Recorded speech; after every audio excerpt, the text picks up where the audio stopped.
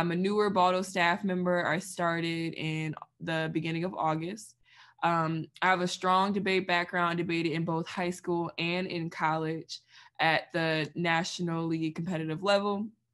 And I'm very excited to be working with Navis for the next couple of weeks until we get started with the first BAUDL tournament of the year because the topic of today's meeting is basically demystifying the transitions that you'll make in each division of debate. So right now we're all in novice and I don't know if we all have an understanding of what that means, but maybe someone can help us break down how long or what do you think that it means to be a novice? If someone can let me know what they think that it means to be a novice, what and then we'll then we'll move on to the other levels, but let's just start with novice right now. Uh, I think it's just you're completely new to the um, to debate, I guess. Uh, I think that's really it. Yeah, you're new to debate. You either have um debated a little bit or have maybe just gone like to a couple practices but novice there's typically two different di- divisions of novice but not everywhere observes it so they're super novice which is when you're going to your first tournament of the year you have zero debate experience maybe you've gone to practice but you've never formally attended a debate tournament at all you are a super novice after that point everything of that after that is immediately considered novice. And like everyone has suggested, novices are considered new debaters. Um, but you don't have to stay in novice even when you're a new debater, right? So staying in novice and moving outside of novice is primarily based on two things.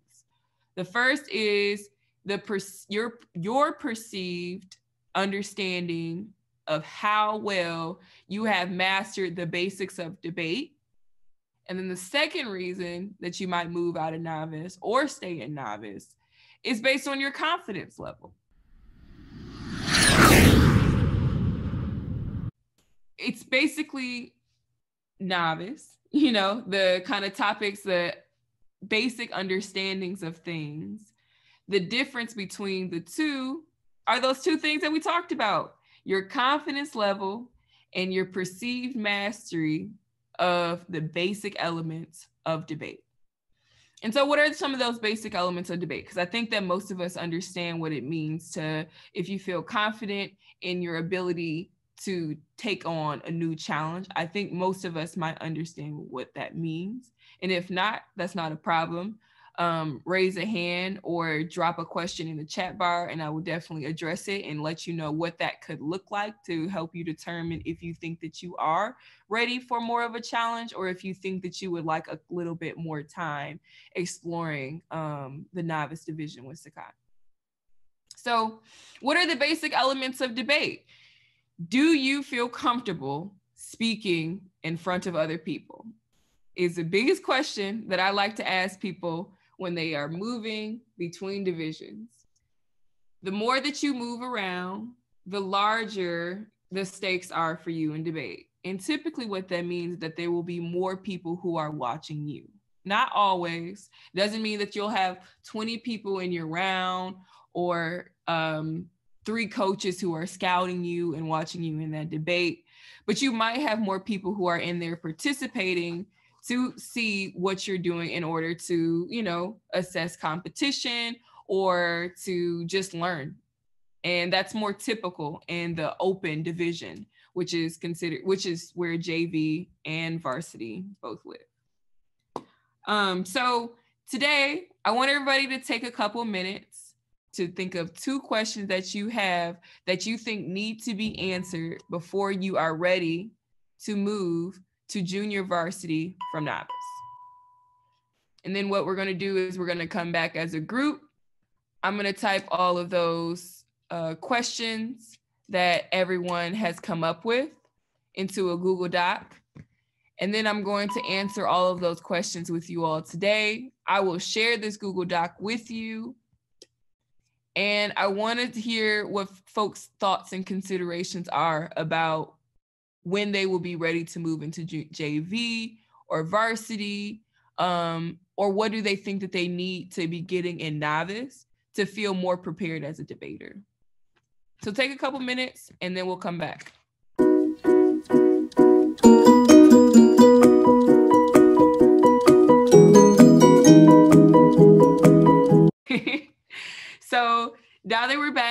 Get started with these first couple of questions, and then we'll move on to the second set of questions that I have after we take a break from these questions. So we'll just run through these first, and then we'll take that break. All right. So someone said, if I feel unprepared for the first or upcoming tournaments, am I still required to go? No, BAUDL does not make you go to any tournaments that you do not want to go to. But the benefit of going to the tournament, if you feel unprepared, is that everybody feels unprepared at the first in the up first couple of tournaments. You know, you're getting to learn the topic, you're getting back into the swing of speaking in front of people, you're getting back into speed reading or learning how to speed read for the first time. There is so much that everybody is all worried about for the first couple of tournaments that you would not be alone in feeling unprepared.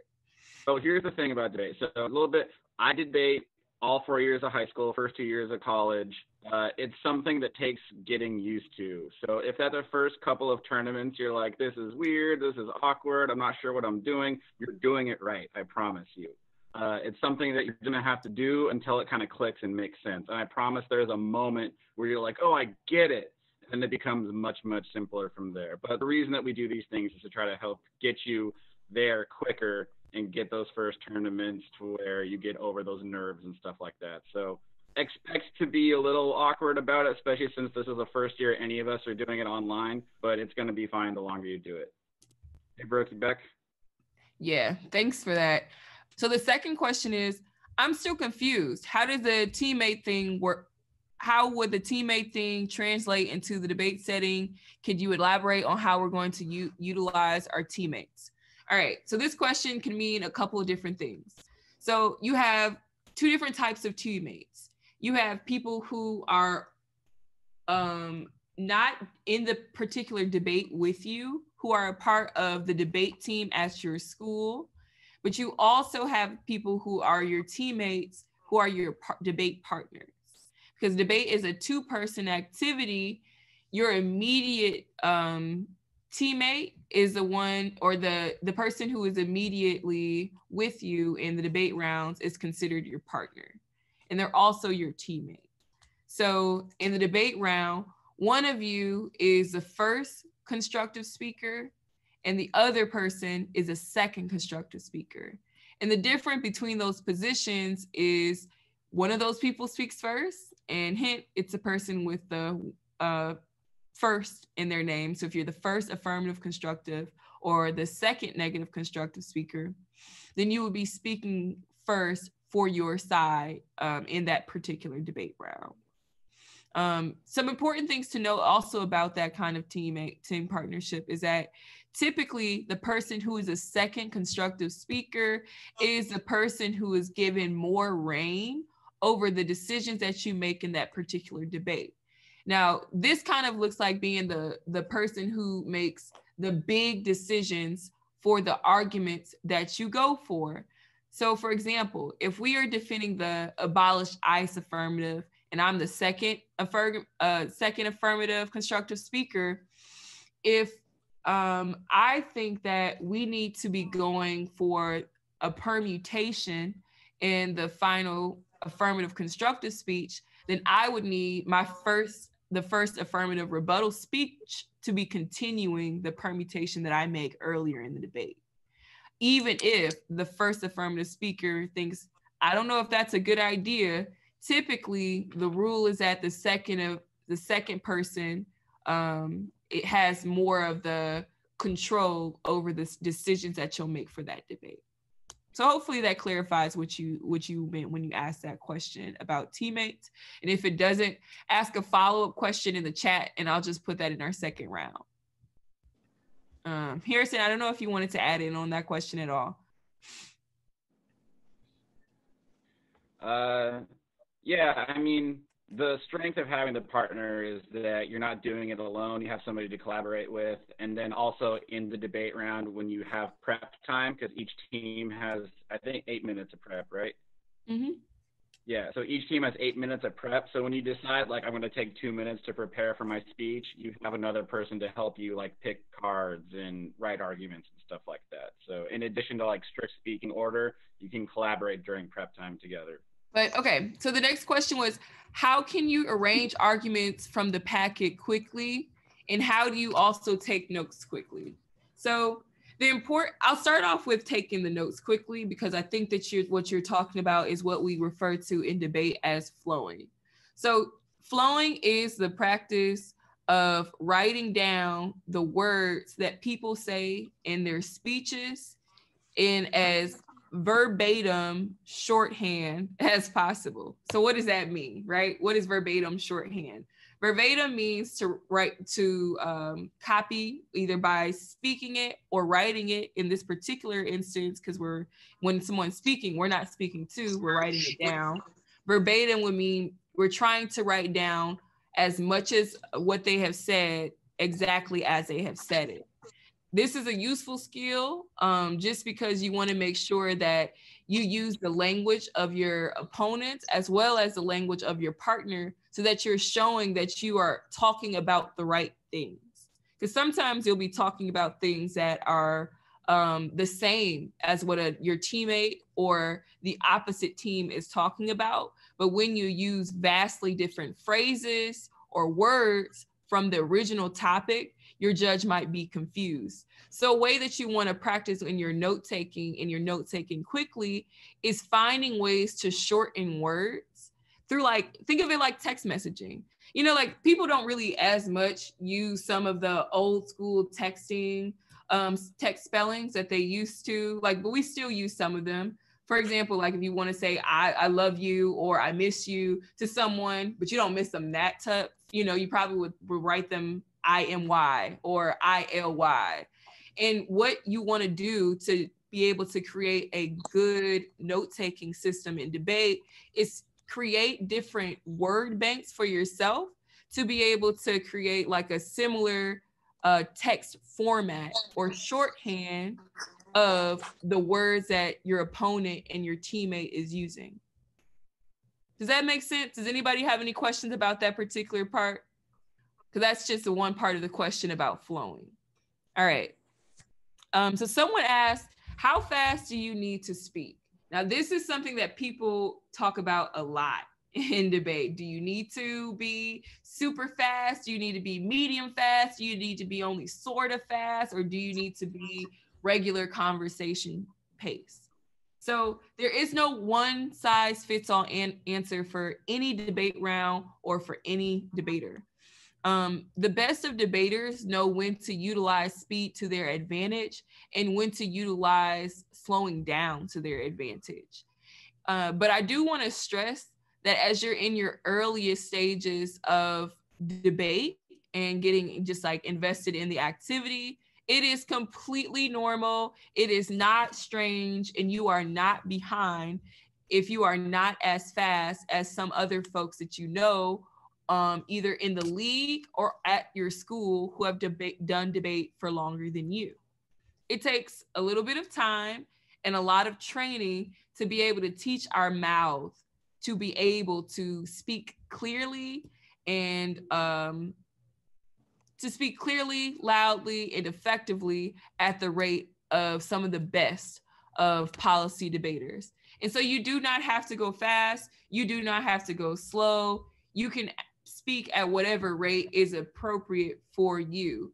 The caveat or the kind of um, all the kind of, the only thing that I would encourage you to think about when you're determining how fast or how slow you should go in a particular debate is making sure that you answer the substance of the arguments of your opponent. You can you can answer someone who went super fast um, in their speech arguments by figuring out what are the major points that I need to win from that last speech that they uh, were talking about. Because oftentimes, folks who are talking super fast are doing that to try to trump up as with it, the the debate with as many pieces of physical evidence or cards as possible. But ultimately, those cards, those evidence, and those arguments are often saying the exact same thing. If not the exact same thing, they're making similar arguments that can be subsumed under one thing that you say pretty slowly. and that's just about um, you know remaining calm in those debates and knowing that you don't have to answer everything that they say in a one-to-one kind of ratio if you are resolving what they're talking about in more than one sentence or a couple different pieces of evidence you can do that at your own pace if you feel like that is sufficient um, and I think I just got a clarification. Uh, yeah, I meant that the opponent's argument specifically, how do you quickly arrange specific arguments? So if I can, if, if, if I can add on to that a little bit more, because I think that that, that help, that help, um, that helped me with your question about what you're asking me for. So to answer an arguments quickly, the biggest I would say the biggest thing that you would need to be able to do is learn your affirmative as best as you can. You will not be able to learn all of their arguments. You will not always have a block or even evidence to be able to respond to the vast majority of your opponent's arguments that you will encounter in this school year and whatever next school years if you continue on in debate. That's just the name of the game. Is that you have to be com- that you'll get more comfortable with knowing that you will have to depend on your mind and your critical thinking to answer certain things that you don't have a pre-written response for. And so I say that it's important for you to know your affirmative because you want to be able to look at what they're claiming of you specifically like I'm, I'm speaking as if you're affirmative and you're debating a, a 1NC that is a little bit confusing to you.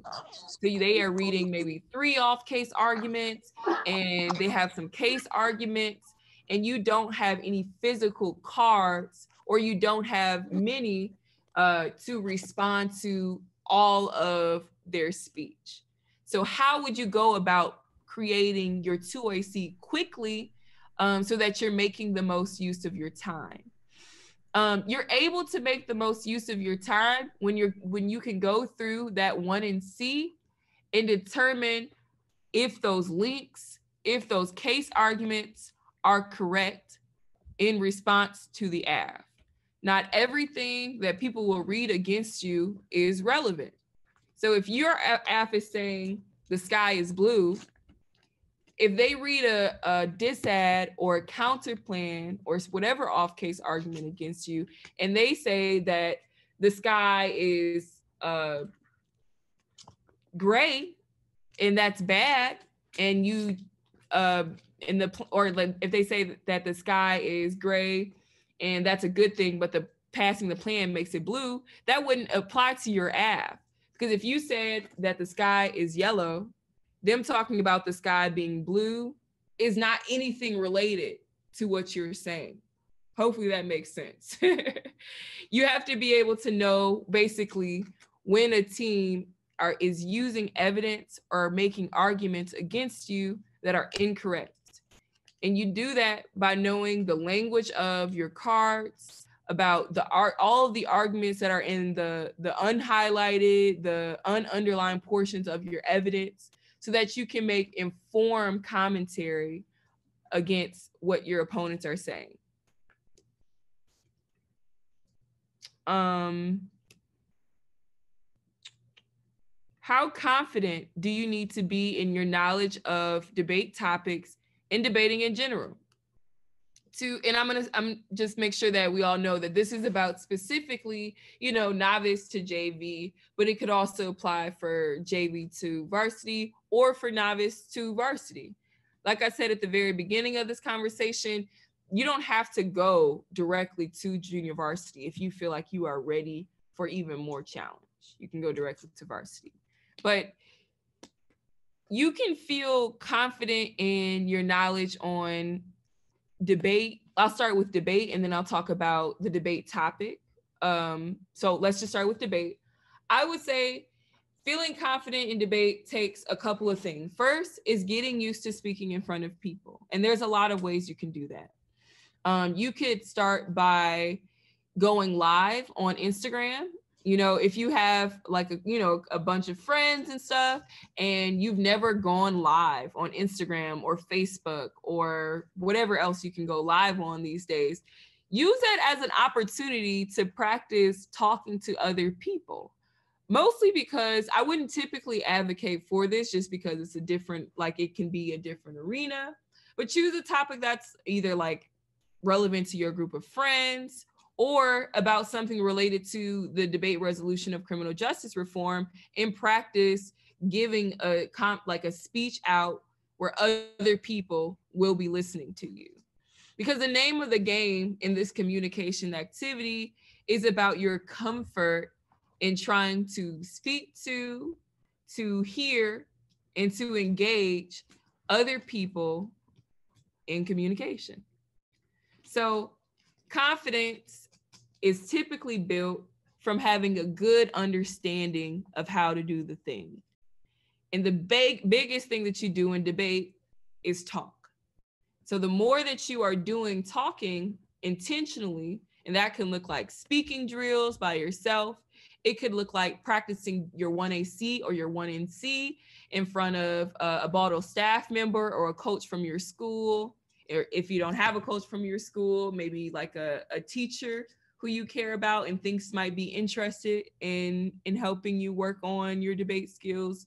It could be you giving a speech to your partner and they give a speech to you. But the biggest thing that will, it will that will impact your confidence in debating in general is your ability to get started speaking. Um, because the other kind of parts of debate, like learning the rules, learning the um, you know stock stock issues, learning about critiques and counterplans and disads, all of those kinds of things are, are useful and they can come over time. And we want to get them as early as possible but all of those things are only helpful if we can get you comfortable with speaking. And so for for getting confident on the the resolution aspect of the topic, um, I would encourage you to do a couple of different things. The first, and and this is one that seems to me to be really um, it was always my obvious way to approach understanding and building confidence in the resolution, but I recognize not everybody had the same foundation that I had in debate. And so what I like to do to feel to learn or to build my confidence up about the resolution is I like to make the resolution into the form of a question. Um, they used to already be in question form, like way back in the day of debate. It used to be like resolved. Should the United States federal government do X, Y, these thing? Now we typically get a generic sentence. So, like, for example, this year, the topic is the United States federal government should enact uh, substantial criminal justice reform in one of the more of the following areas forensic science, policing, and sentencing. I would make that into a question, which is pretty simple. It, it, doesn't require too much work. Just adding really that should question into that statement that is the resolution. Should the United States enact criminal justice reform? So I would answer that question first. And I would I would look up reasons as to why I feel the way that I do. Do I think that the federal government should enact criminal justice reform generally? Should I do I think that this is something that is important? I'd learn about what the criminal, what makes up the criminal justice system. Um, what has reform looked like in the past? Uh, what are new examples of reform that might be on the horizon for politics in the criminal justice system? And then after I, I kind of answered if I think that criminal, criminal justice reform generally should be reformed, then I would go into those three areas that the resolution covers forensic science, policing, and um, sentencing. So this is one of the assignments that we actually have done in JV. And if you are listening to me just explain how you build your confidence in the resolution, you could be over here in JV getting getting down with us, getting ready to, you know, attack the topic because we want to build your confidence. JV is really for novice is for students who are newer to debate, who are be, who have been working on their confidence and are ready for a challenge. It's not the same levels of varsity, we're doing the things that build your confidence to ultimately get you ready for the varsity division of debate. And so we do things like answer the resolution to help inform you about the topic before you ever enter into the physical debate round. So to just kind of summarize this point, because I know I kind of went a little bit back and forth, so I want to make sure that everybody is still with me. Um, how you build your confidence in the resolution is by getting started with answering the resolution for yourself and finding warranted or evidence that supports why you think the resolution is uh, should or should not be affirmed. Um, and I don't know, I, I've kind of forgot that Harrison was on the call. Harrison, I don't know if you wanted to add anything at any point. If you want to add anything, definitely please jump in. I've just been shooting through these, trying to make sure that we get all of them, but definitely feel free to add in whenever you got some. Sure, you got it. All right. Um, next question that we got was how does cross-ex work? Uh, so cross-ex is pretty simple. It's actually one of the, the the chillest times in the debate round outside of prep time. So in between the constructive speeches, and there's four of those, there's four constructive speeches. After each one of them, there is a three minute cross examination period. Cross-ex is used for the purpose of asking your opponent who has just given the speech questions that clarify the content, or you ask them questions that are for the purposes of understanding their argument to build your strategy. So those two are important, right? Because they're different. One is just for basic comprehension. You need to know which kind of questions that you're asking so that like, you know, you can pay attention to how they're responding to get the answers that you actually want. Because sometimes you'll be debating against someone and you're in cross-ex and you're asking them questions and they're they're focused so much on strategy that they will not give you a clear explanation that you need just to basically understand what their argument is. In those moments you should stop asking different versions of the question that you've been asking them um, and just move on.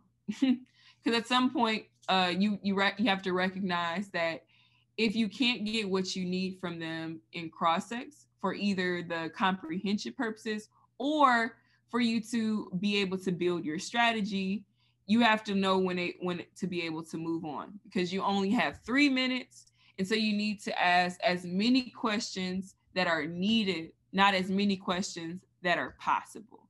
You don't need to have 10 questions for cross-ex. You don't need to have five questions for cross-ex. You don't need to have seven questions for cross-ex. There is not a set number of questions that you need to have prepared to ask for cross-ex.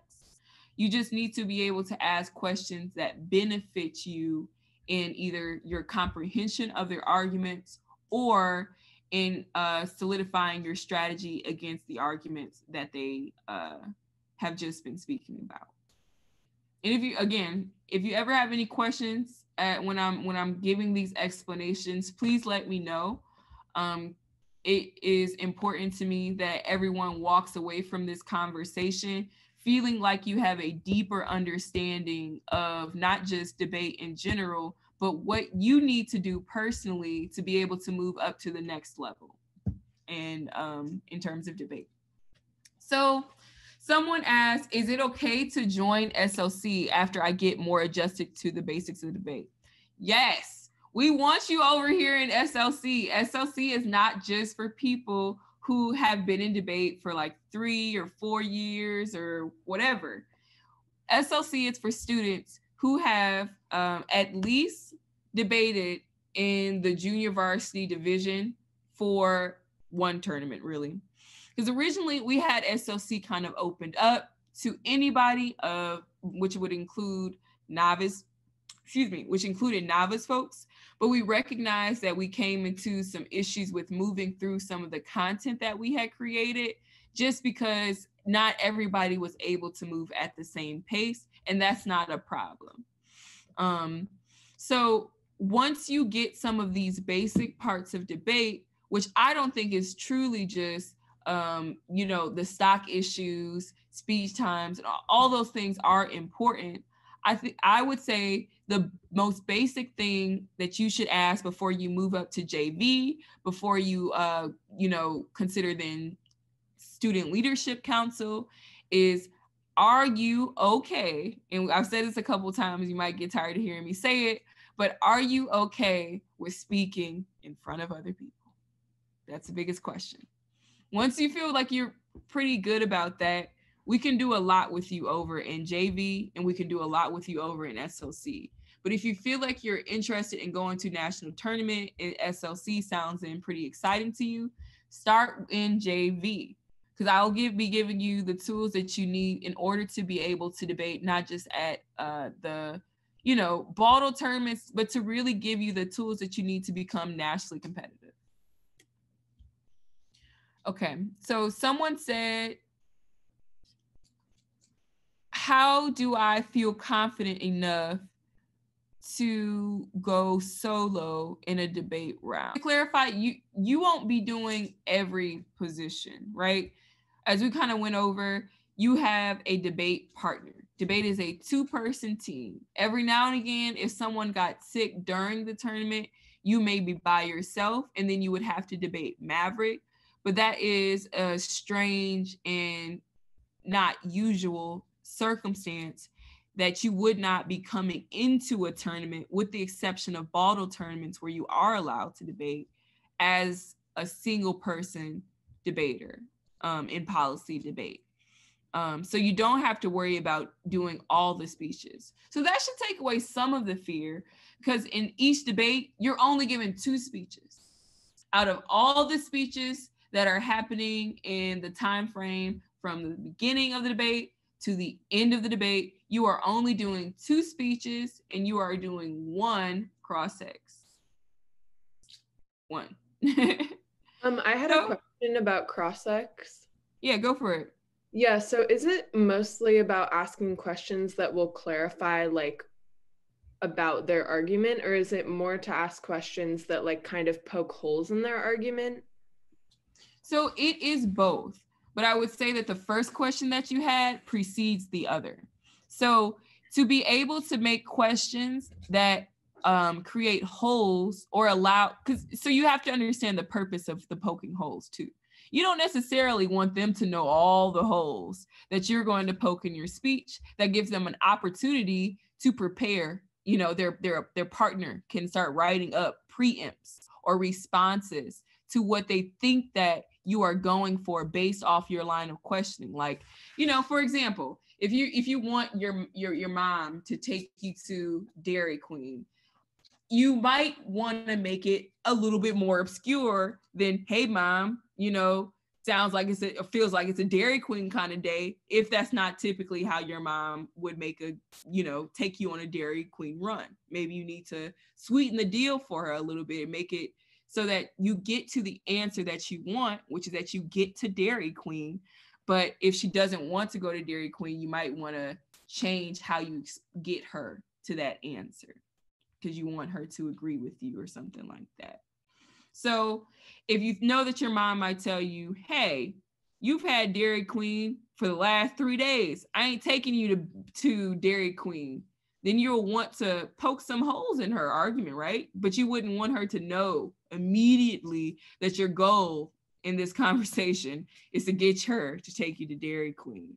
That's like what you're doing in cross-ex. You want them to um, give you as much as you need to understand their argument to then be able to poke subtle holes into their arguments that are most clear to the judge.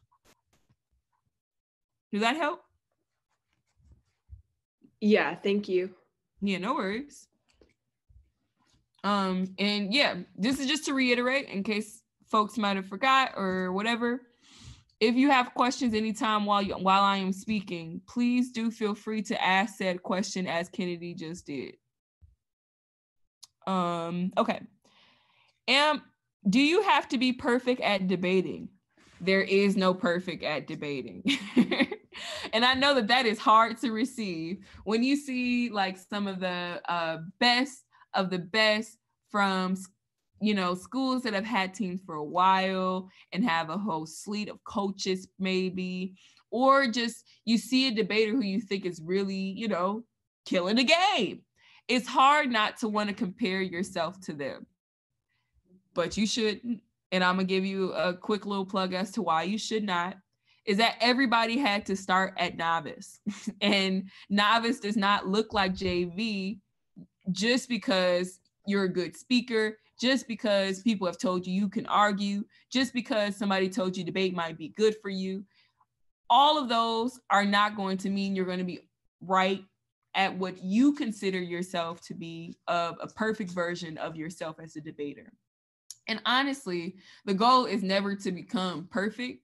The goal is to always be able to grow. There's always has to be room for improvement in order to see some of the top levels of debating. The people who get stuck and stay towards the middle or lean towards the bottom or have caps in how high they can go are the people who typically believe themselves to be at the top of their game. and that makes it harder for you to receive coaching.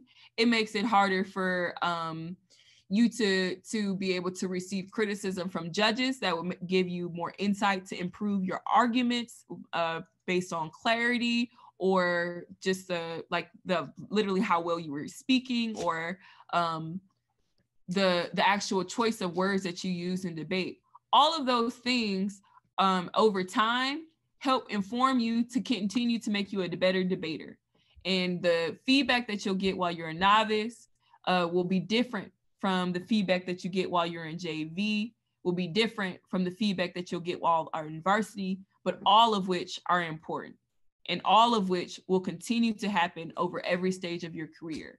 And because nobody in this world is perfect, shout out to Hannah Montana if anybody's familiar with that song. you should just know that comments will always be coming from every different direction.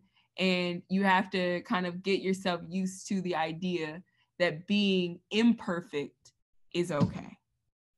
Um, that's a hard one. That's one that I had to learn um, a lot in college. Is like, well, shouldn't I, because I've been doing debate since I was 13, shouldn't I be the best of the best? You know, shouldn't that be where I'm at? Shouldn't you understand where I've been? You know, whatever.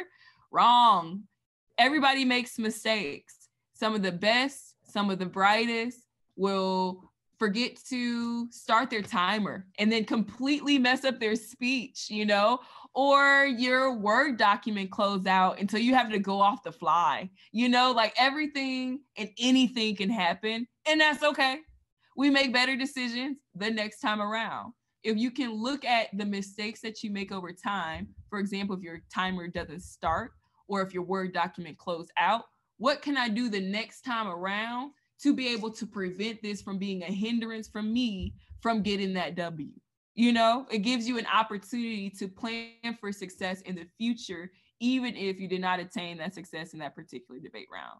So throw out that idea of being a perfect debater or having, you know, all the perfect skills to be the best debater because that person doesn't exist and that person is not you that person's not me that person's not any of us um and that's not where we should strive to be anyways. We should you know celebrate ourselves at all stages of this. Last question and then i'll, I'll give us a, a break because we'll we'll be out here we will be out of here in about 28 minutes. So um the last question that we got and we'll take a we'll take a five minute break and we'll come back and finish out these questions is how much time needs to be put into debate Awesome question, whoever asked this. How much time you put into debate is 100% up to you. we can't tell you that you need to be at every weekly BAUDL practice, that you need to be at every um, your high school debate practice, that you need to put in 13 hours of research for the week. Uh, we we don't we don't we don't recommend that anyone set a specific time limit for um, where you are in, in terms of putting that time into debate. And time can be a lot of different things. So I want us to diversify what we think of as investing energy into growing as a public speaker. So it helps to not just think of like some of the things that I, am going to list out to do as being specific just to debate, because the point of debate is to ultimately make you a good speaker, a good advocate for things. And so, a way that you can help put time into becoming a, a better advocate and becoming a better speaker, which is remember the overall goal of why we do debate. Um, is finding ways to engage speaking um, in the art of argumentation in our day-to-day lives. So if you're a person who find yourself unable to do some of the uh, training that you see your peers doing for example this might look like watching uh, college debate rounds. You know you're watching the uh, northwestern versus harvard and you're thinking like and, and someone's watching Northwestern versus Harvard, and they come to um, your coach and they're like, Yeah, I have some questions about this debate round that I was watching, and I want to do so something like so and so. And you hear this and you're like, Whoa, I just highlighted my 1AC, and that's all I've been doing, you know, like, and you're over here watching college policy debate rounds, like college, you can understand that? They're talking even faster than us, you know the biggest thing that can hold you back in debate is comparing yourself to others. what you are doing for you can change, but it should not change because you think you are doing, um, you need to be doing what someone else is doing. You can do more with new information. For example, if you hear from this debater that uh, watching college policy debate rounds, and this maybe this specific policy debate round helped them to understand um, the capitalism critique better, then you might want to do that. But you shouldn't just do something because you think that someone is doing that and getting ahead um, for a reason that might not be helpful to you. So if you want to take someone's idea about how they are investing time or they are investing their energy into preparing for debate you should have a reason as to how doing what they have done will help you. But I think that the best way to determine for yourself how much energy or how much time you need to put into debate, you will do a couple of different things. The first is determine how much free time do you have? And I mean when that that from the time that you get up in the morning to the time that you go to bed, seven days a week, how much free time do you have in each of those seven days?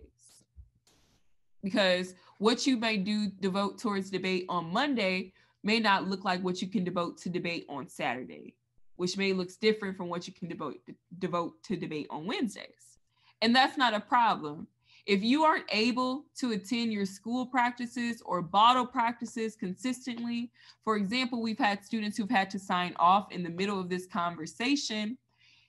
If you could figure out another point in time to be able to add in what you think will be useful for you to get better at debate, for example, if that, if like uh, Jan had to leave, leave this call and Enzo had to leave this call, if these questions have been informative to them or how I've been answering these questions have been informative, then they would watch the recordings of this at their leisure at another point throughout the week based off of where they see that they have pockets of time in each of the seven days of their week um, to be able to fit in working on debate. Um, and so based on your lifestyle and how much time free time you have, I would determine what is my weekly goal for working on debate. And then after I determine how much time that I want to spend working on debate based off of how much free time that I have overall, I would then ask myself, what are the things that I want to accomplish with the time that I devote towards debate? So I'm gonna just because I'm kind of talking right now, I'm gonna I'm gonna quickly jot down what I just said because I want you all to be able to have that. So identify how much free time you have during the week based off of how much free time you have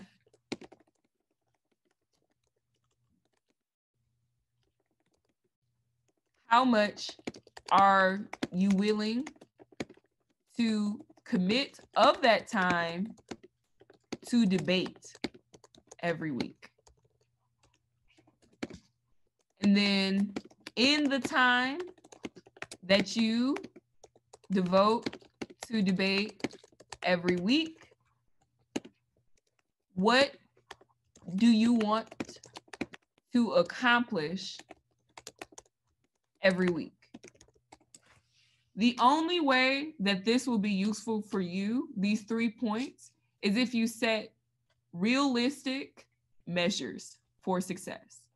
If you know that you work an after school job, you're in 99 debate, uh, 99 after school clubs, you know, you, you, you got a, you got an online checkers game competition coming up, you know, like if you got a lot of different things that are going on, you should be very, very brutally honest about how much free time that you have. Because remember, this will affect probably things like your confidence or your uh, confidence in debate and your knowledge of the topic. So you might need to stay a novice for longer, depending on the amount of time that you think that you have to com- commit yourself to becoming either more confident or more competent in debate. Um, but if you have, uh, like, let's say you have 10 hours free every week in total, you probably won't want to use the full 10 hours to devote to debate because that's all your free time. That's all your Instagram time. That's all your going to tropical cafe, smoothie, free time. You know, you would want to use a portion of that time that you think is appropriate to debate. So if I have 10 hours to to designate every week. I'm gonna use, I'm gonna commit myself to three of those hours going towards debate. That's 30% of my time that is free, i.e., I don't have any other responsibilities that I'm going to yield towards debate. And because of that, I need to make goals that are realistic for me to accomplish in three hours a week, you know? Because it may not be that you do the the the you put in your work for debate in three hours consecutively. You might do an hour on Monday, you might do an hour on Wednesday, you might do an hour on Friday. You know, you you will split that up however works for your particular schedule. But you would use those three hours to accomplish whatever goals you have for that week. So if I'm a novice and I have three hours that I'm dedicating per week, I would set a goal like practice or um, practice flowing a full debate round. And I would look up uh, a debate that I think that I would be able to flow, and I would, you know, ask for tips on how to, like, I would ask a BAUDL staff member or some of my peers uh, what are ways that I can work on my flowing? What do you think that a flow needs to have?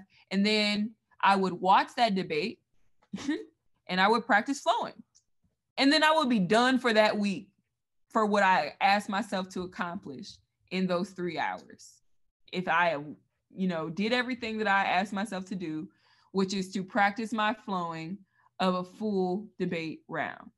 So set your goals in a way that is realistic and that actually still can push you further towards your overall goal. Because what we want you to be doing is not just staying in novice because you're scared. And that's what we're worried about. We want you to be a novice because that is what works for your schedule. You don't have that much time to put into debate. Um, and so you are only able to perhaps to attend these weekly Wednesday meetings. You can't go to other practices to be exposed to more things. Maybe you won't be able to go to most of the tournaments this semester. Um, are reasons why one would stay a novice for um, a couple of weeks to months at a time. But ultimately, if you have time to spare that you have been devoting towards becoming better in debate, we want you to be setting goals and accomplishments that will move you towards going to that higher division. So let's go ahead and take a let's take a, a seven minute break and we'll come back at uh we'll come back at 520 and then we'll we'll close out uh with uh I'll look through these questions and I'll I'll find a final question and then I'll let everybody go for today. But I will include all the questions that we talked about today in this Google Doc with a probably two to three sentence summary of the things that we talked about today for everybody to kind of look back on. So think of it as like a not quite a frequently asked questions kind of ordeal, but just as a questions asked about the process document for you to look back on, chew on, sit with, and ask any additional questions as you may need. So go ahead and take those couple of minutes and then we'll come back and we'll close out.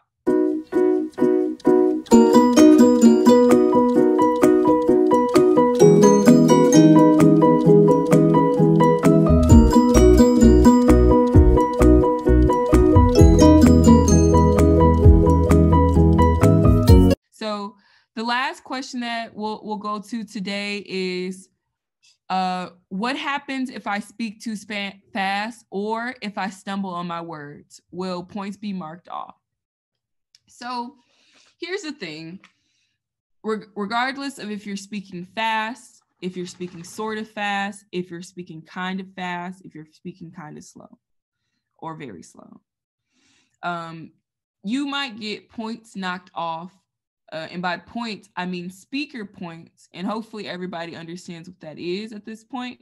If you don't, speaker points are the uh, points that are given to individual debaters. So if maybe so if if Harrison was my debate partner, uh, and we were in a debate against Kennedy and Raylene, uh, and they were AF, we would all be getting individual speaker points on a 30 point scale like um, meaning up to 30 points on where the judge believes we rank in terms of being a good speaker. And now, one thing I want you to know is that people take off points for things that are not just because if someone is a good speaker, if they've done well in the debate round, they can take off points or they can give points for reasons that we don't know that are just completely outside of what you would be able to build into how well you can you um you are as a debater. And so just as we were talking about with the one of the uh, previous questions at before we took the break of you know someone asked about being a perfect debater is that the best of the best the people who have won championships, the people who are in junior varsity, and the people who are in varsity, all of those people have messed up. You have stumbled over your words. You've pronounced something incorrectly. For example, like I remember, like uh, back in back in my early days, I, I remember saying like uh, hegemony for hegemony, and then like at you know you keep saying it, and eventually somebody's like, "Hey, it's not right." but it's a growing moment. And it doesn't mean that I got marked down to the point where it affected me. Um, but some people are more sticklers about, uh, you know, repeated offenses. But typically, people will mark you down um, for stumbling a lot. Like if you stumble like a lot, a lot. Like if you, for like if you, um, if it seems as if you are unprepared to do the speech, that is mostly when someone might mark you down.